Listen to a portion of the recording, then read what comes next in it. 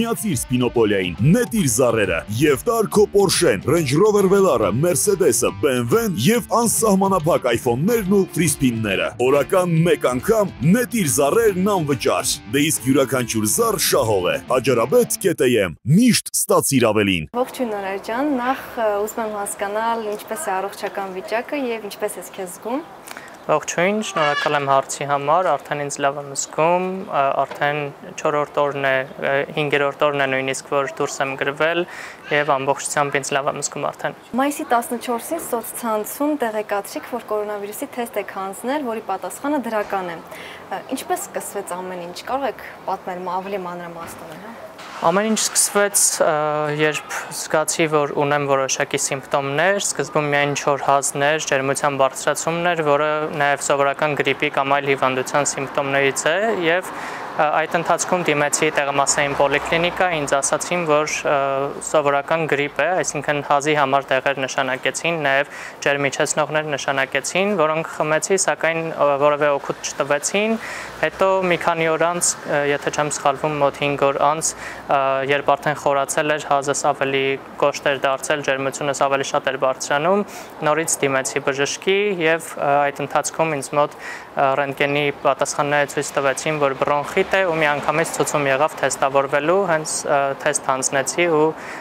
մայիսի 14-ի երեկոյան տեղեկացրին բարետատնից, որ վարակված եմ, թեստի արդյունքը դրական է ու դրանից հետո արդեն ձեր նշած հրապարակումը հայտնվեց սոցցանցում։ Հուզական հոգեվիճակ, որևէ խոճապ, ինչ եք զգացել այդ պահին նախ ասեմ, որ թեստը հանձնելիս արդեն, քանի որ ունեի արդեն բավականաչափ սիմպտոմներ, բացի ջերմությանը, բարձր ջերմությանը եւ հազին ավելացել էր նաեւ հոտառության կորուստը, երկու օր ոչ մի հոտ չէի զգում եւ թեստը հանձնելուց հոգեբանորեն արդեն պատրաստ էի, որ կարող է նաեւ դրական լինել ու ավելի շատ հավանական է, որ հենց դրական կլինի պատասխանը։ Երբ զանգը ստացա, երեկոյան էր, նստած էի հյուրասենյակում, այդ պահին մենակ էի եւ ինձ երբ տեղեկացնում էին, որ կորոնավիրուսի պատասխանը դրական է, դրանից մի քանի վայրկյան առաջ զանգարել էին նաեւ հայրիկիս այդ մասին տեղեկացրել ու ես հանգիստ էի տանում հեռախոսազրույցը մինչև այն պահը, երբ ընտանիքիս մյուս անդամները մտան հյուրասենյակ, իրենց դեմքին նայելով արդեն որոշակի ինձ մոտ էլ խոճապ առաջացավ, իրենք երևի ավելի վախեցած էին ինձ համար ու հենց դրանից ինձ մոտ խոճապ սկսվեց, բայց ընդհանուր բուժման ընթացքում շուրջ 11 օր է տևել, միայն այդ մի քանի րոպեներ խոճապ, հետո արդեն տրամադրությունս միշտ բարձր է եղել։ Երբ կասկածեցիք, որ հնարավոր է կորոնավիրուսով եք վարակվել, ինչ ախտանշաններ էին ի հայտ եկել սկզբում եւ ինչ գանգատներ կային հիմնականում։ Գանգատները հազ ունեի շատ կոշտ, սկզբում փափուկ էր, հետո արդեն ժամանակի ընթացքում խորացավ։ Կասկածել եմ, որ կորոնավիրուս է, երբ արդեն հոտառության կորուստ ունեի, ուղղակի տանը նստած էի, այսինքն բուժում էի ստանում զուտ ջերմիջեցնողներ էի խմում եւ հազս կարգավորող տեղեր էի խմում, բայց հանկարծ չեմ հիշում հիմա ինչից փորձեցի հոտ քաշել ու հասկացա, որ հոտ չեմ զգում, հետո արդեն սպիրտից, օծանելիքից ցանկացած սուր հոտ, հոտ ունեցող որևէ առարկայից փորձեցի հոտ քաշել, բայց հոտ չէի զգում ու հենց այդ ժամանակ հասկացա, որ ամենայն հավանականությամբ կորոնավիրուս է։ Հետաքրքիր է ինչպես վարակվեցիք, այսինքն շփում եղել է վարակագրի հետ, թե ոչ այդ հարցը մինչև հիմա ինձ համար բաց է մնացել ոչ միայն ինձ համար, այլև իմ հարազատների նույնիսկ շատ մարդկանց համար բաց է մնացել, որովհետև հաստատված դեպքի հետ շփում չեմ ունեցել այս ընթացքում, երբ հայտարարվում էր արտակարգ դրություն, նույնիսկ երկու օր դրանից առաջ մարտի 14-ին դեռևս այնտեղ որտեղ աշխատում եմ Armenpress լրատվական գործակալությունում բոլորով ամբողջ գրասենյակով անցել ենք հեռավար աշխատանքի, աշխատել ենք տնից, այս ընթացքում դուրս եմ եկել շատ քիչ, հիմնականում խանութ գնալու նպատակով, ձեռնոցով, դիմակով փորձել եմ պահպանել բոլոր հակահամաճարակային կանոնները, բայց փաստորեն չստացվեց ու հիմա ամենահավանական տարբերակը այն է, որ վարակվել եմ որևէ մակերև վարակված մակերևույթին դիպչելով։ Եվ ինչ եղավ հետո, այսինքն երբ երբ ի հայտ եկան վիրուսի հիմնական այն ախտանիշները եւ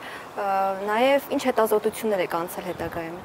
Առաջին օրը մայիսի 14-ի երեկոյան, երբ ինձ անգարեցին 30 րոպեի ընթացքում իմ հետևից եկավ շտապօգնության բրիգադը եւ տեղափոխեցին հիվանդանոց, Երևանից տեղափոխեցին տեղափոխեցին Արտաշատ բժշկական կենտրոն, հենց հիվանդանոցում առաջին իսկ րոպեից անցա 3 հետազոտություն, սրտի կարդիոգրամա, ռենտգեն եւ եւս մեկ հետազոտություն, որբիսի հասկանան թոքաբորբ ունեմ արդյոք թե չէ, ինչ վիճակում է բրոնխիտը եւ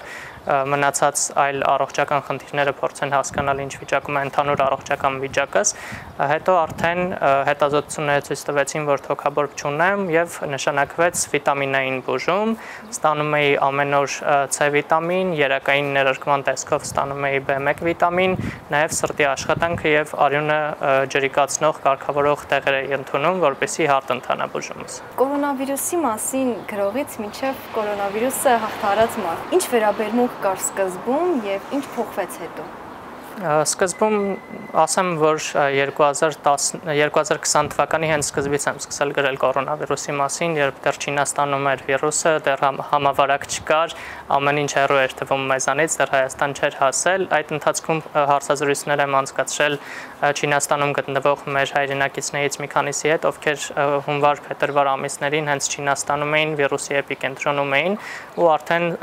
այդ ժամանակ զգում էի, որ ամեն ինչ լուրջ է, հա, կարելի է ասել Հետո երբ եկավ Հայաստան վիրուսը, ելի ավելի ինտենսիվ եղավ այդ լուսաբանումը ու չեմ դադարել գրել վիրուսի մասին նաև այն օրերին, երբ հիվանդանոցում էի, հետո արդեն հյուրանոցում մեկուսացման ընթացքում էի, այդ օրերին գրեցի օրագիրս, որը կարծում եմ հետաքրքրեց շատերին, թե գրում էի այն մասին, թե ինչպիսի բուժում են ստանում եւ առհասարակ ինչ մտնոլորտ է տիրում հիվանդանոցում, ինչ հոգեվիճակ է զգում կորոնավիրուսով բարակված մարդը մեկուսացման մեջ։ Հիմնականում ինչ բուժում եք ստացել եւ նաեւ բժիշկների վերաբերմունքն ինչպիսին էր եւ բժիշկների հետ ինչպիսի շփում էր։ Քանի որ առողջական վիճակս բարեբախտաբար շատ ծանր չէր, ունեի երիկամների խնդիր, որին շատ մեծ լուրջ ուշադրություն էին դարձնում, որպիսի կորոնավիրուսին զուգընթաց տայել բարդություններ չառաջացնի, ստանում էի վիտամինային բուժում, իսկ բժիշկների վերաբերմունքը շատ դրական էր, ոչ միայն իմ, այլև մյուս բոլոր պացիենտների նկատմամբ, ճիշտ է շատ շփում պացիենտների հետ չեմ ունեցել, բայց եւ կողքից դիտելով եւ նաեւ այլ հիվանդասենյակներում կողքի հիվանդասենյակներում պարկած պացիենտների հետ բժիշկների զրույցները այդպես ականջի ծայրով լսելով հասկանում եի որ բոլորի նկատմամբ նույն դրական ջերմ վերաբերմունքն է ու նույն հոգատարությունը Կորոնավիրուսային օրերի ընթացքում ինչ մտքեր կային բուժման ընթացքի վերաբերյալ, ընդհանուր այդ համավարակի վերաբերյալ եւ որևէ վախեր ունեցել եք Վախեր չեմ ունեցել առաջին իսկ պահից, երբ արդեն գիտակցում էի, որ վարակված եմ կորոնավիրուսով, հետո արդեն թեստի պատասխանը դրական եկավ, վախ չեմ ունեցել։ Միշտ իմ օրագրերի վերջում էլ 7 մասից բաղկացած օրագիրս միշտ վերջանում էր հայտնի արդեն դասական կորոնավիրուսից հետո կա կյանք բառերով ու գիտակցում էի, որ ամեն ինչ լավ է լինելու, արդից օգտվելով կմաղթեմ բոլոր ներկա պացիենտներին, ովքեր բուժում են ստանում, որպեսզի դրական էմոցիաներով լցվեն ու հավատան, որ ամեն ինչ լավ է լինելու։ Այդպես վախ չեմ զգացել, խոճապ չի եղել ու գիտակցել եմ, որ բուժվելու եմ, ի վերջո կորոնավիրուսը դատավճիռ չի։ Ինչ խորհուրդ կարելի է տալ այն մարդկանց, որոնք հավատում են, այսպես ասած, դավադրության տեսություններին եւ մտածում են, որ կորոնավիրուսը սուտ է կամ սովորական գրիպ է, որը որևէ բարդություններ չի կարող առաջացնել կամ մահացու չի կարող լինել այդ մարդկանց ուղակի հարգելով նրանց կարծիքը կխնդրեմ որպեսի այնուամենայնիվ հետևեն հակահամաճարակային կանոններին, եթե կարծում են, որ կորոնավիրուս չկա, գոնե այնուամենայնիվ մտածեն իրենց առողջության մասին ու իրենց շրջապատող մարդկանց առողջության մասին, կմաղթեմ, որպեսի երբեք չվարակվեն կորոնավիրուսով, բայց ամեն դեպքում պահպանելով հակահամաճարակային կանոնները չվտանգեն իրենց եւ իրենց շրջապատող անձանց առողջությունը։ Ընդհանուր առմամբ այս ամբողջ process-ը քանի օր տևեց։ Ընդհանուր գործընթացը թեստավորման պատասխանը ստանալուց հետո, երբ տեղափոխվեցի հիվանդանոց, այդ օրվանից մինչև ամբողջական դուրս գրվելս 11 օր տևեց, դրանցից 7-ը անցկացրել եմ հիվանդանոցում ինտենսիվ բուժում ստանալով, 4-ը արդեն հյուրանոցում, մայիսի 21-ին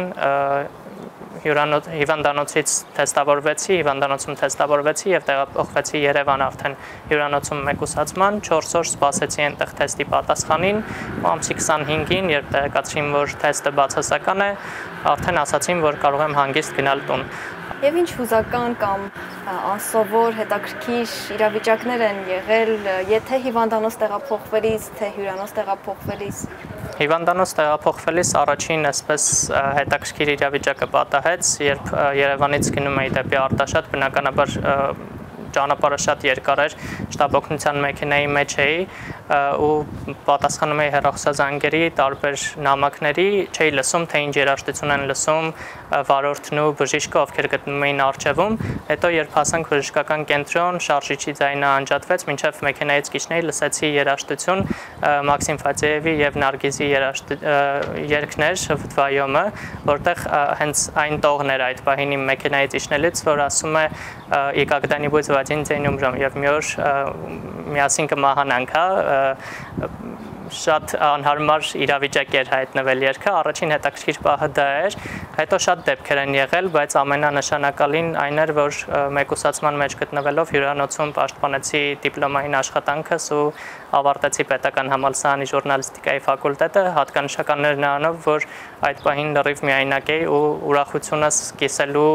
ոչ ոք չկար կողքս, եւ նաեւ լարվածությունս մինչեւ պաշտպանելը հանելու համար ոչ ոք չկար կողքս, որովհետեւ գոնե հետը շփվեի։ Իհարկե վիրտուալ շփման մեջ եմ եղել այս ընթացքում բազմաթիվ մարդկանց հետ, հարազատներիս, ընկերներիս, բարեկամներիս, նույնիսկ անծանոթ մարդկանց հետ, ովքեր պարզապես գրում էին, զանգահարում էին եւ առողջության էին, առողջություն էին մաղթում, բայց հատկապես այդ օրը դիպլոմայինից պաշտպանության ժամանակ գոնե իրական մարդ էր պետք կողքիս այդ պահին, որ դեմ առ դեմ իր, իր հետ խոսելով եւ ուրախությունս կիսեի եւ լարվածությունը միջից անեի։ Կորոնավիրուսի թեստի բացասական պատասխան իմանալուց հետո ինչ զգացողություններ եղան։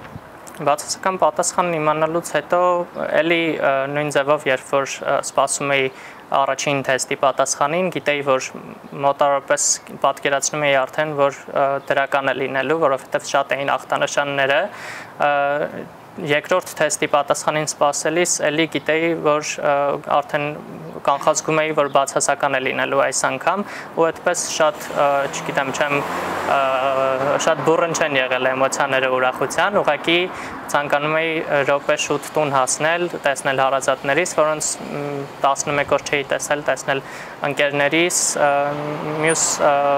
իմ հարազատներին, ընկերուհուս, բայց իհարկե այս ընթացքում հասցրել եմ նրանցից մի քանիսին տեսնել, բայց ելի պահպանելով հակահամաճարակային բոլոր կանոնները, նույնիսկ երբ տուն մտա, մի քանի րոպե սպասել եմ